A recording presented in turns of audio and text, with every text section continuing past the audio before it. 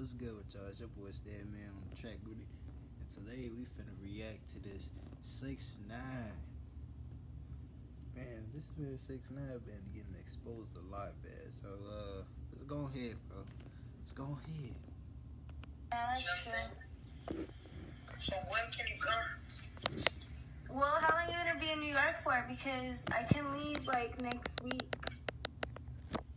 Like, wait, what Where day is it? I live in Denver.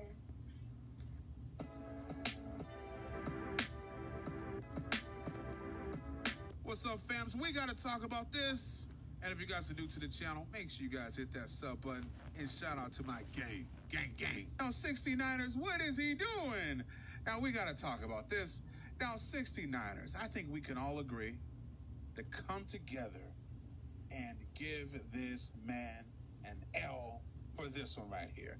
We gotta pray for 6 9 This ain't looking good, man. He's about to catch the thought pneumonia, the thought flu, the thought virus. He's about to catch everything because he's about to bring Celina down to New York City to get the cheeks. Now, for the people that don't know what's going on, man, that is Celina. Now, if you guys don't know Celina, let me tell you guys a little about her. Now, she is the number one thought here in America.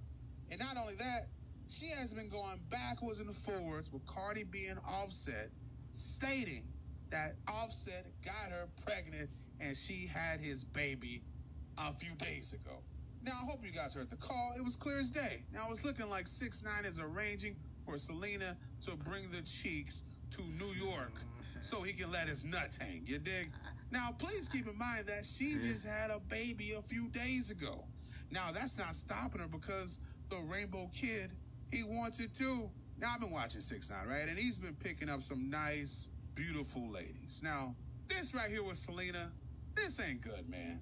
I mean, the number one fact is that she just had a baby a few days ago. She hasn't even healed yet. The hole is gaping like a goddamn turkey. I mean, when she comes to visit 6 9 in New York and she's gonna bring the baby? Like, what is this?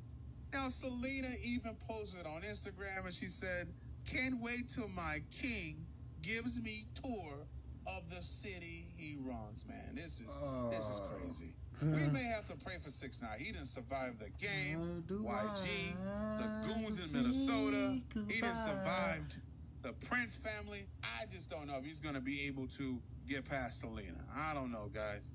He may catch something. Terrible, man. Terrible, man. Taking L's.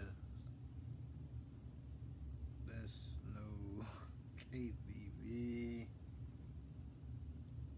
Stop taking L69. That's all I gotta say to you, man. You make good music, it's just. You're just taking these L's.